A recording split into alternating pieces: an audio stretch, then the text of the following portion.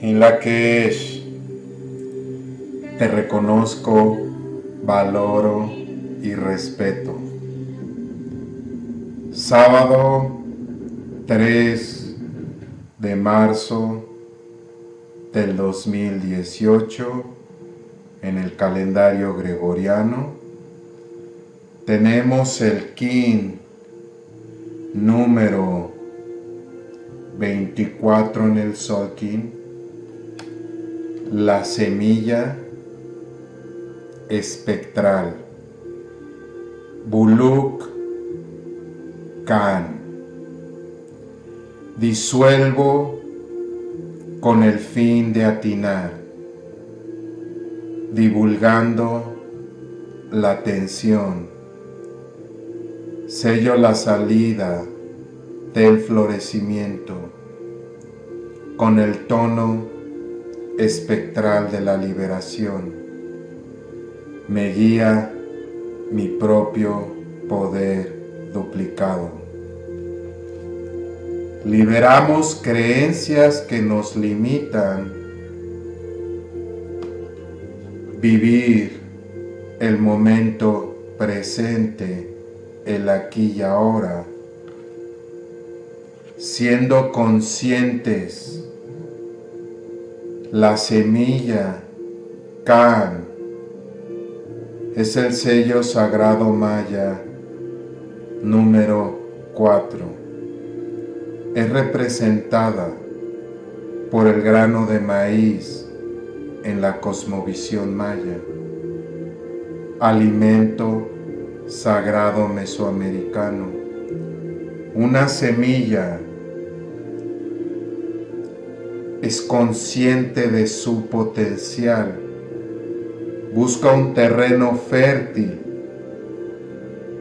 para sembrarse, romper esas cáscaras que la limitan, germinar, florecer a su máximo potencial, llegar a, ser lo que es.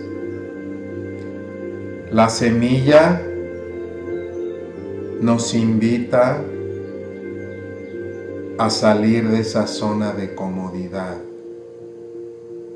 Se nos ha condicionado a buscar la seguridad en todo lo que hacemos, en el hogar, en el trabajo, las relaciones, etc.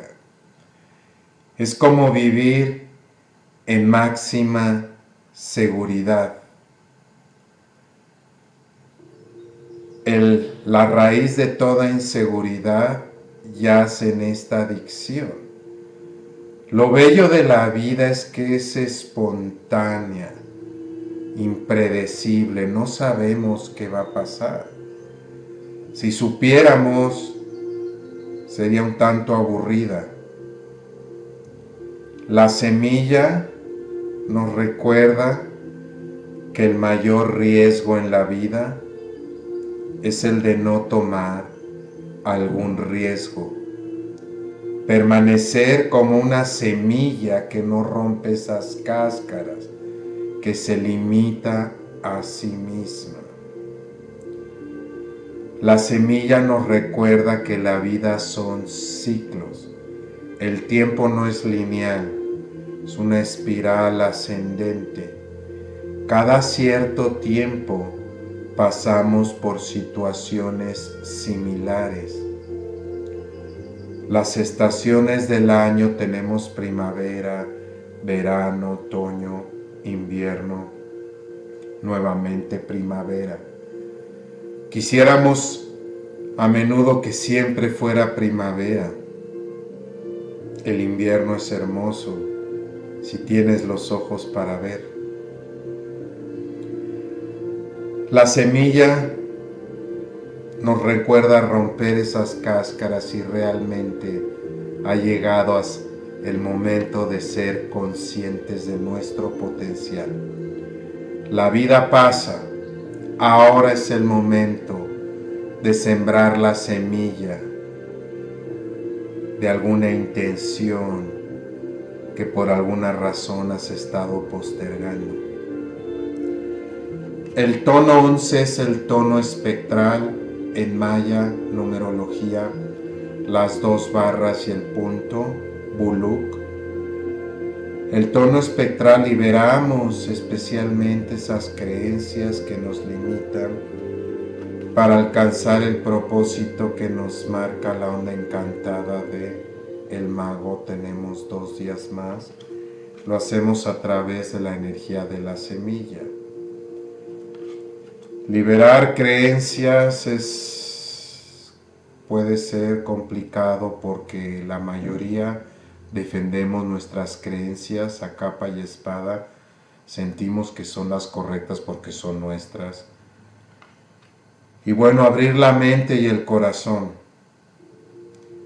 La mente funciona como un paracaídas solamente cuando está abierta. Liberamos creencias que nos limitan, mejoramos nuestra vida. No vemos las cosas como son, la vemos como somos, dependiendo nuestras creencias. ¿Qué creencias honestamente te ayudaría a liberar? Por ejemplo, una creencia es el que cuando uno está solo es algo malo, es triste, se nos ha condicionado constantemente porque así nos quieren manejar que tenemos que tener relaciones y es muy bello. No digo que estar solo sea mejor o peor, simplemente aprender a estar bien con nosotros mismos. Que si tu creencia es que estar solo es algo desagradable, vas a estar lo más probable buscando relaciones y van a ser codependientes a menudo tóxica si no te das cuenta por esa necesidad de estar con alguien. Nuevamente nos guía la semilla ser conscientes de nuestro potencial.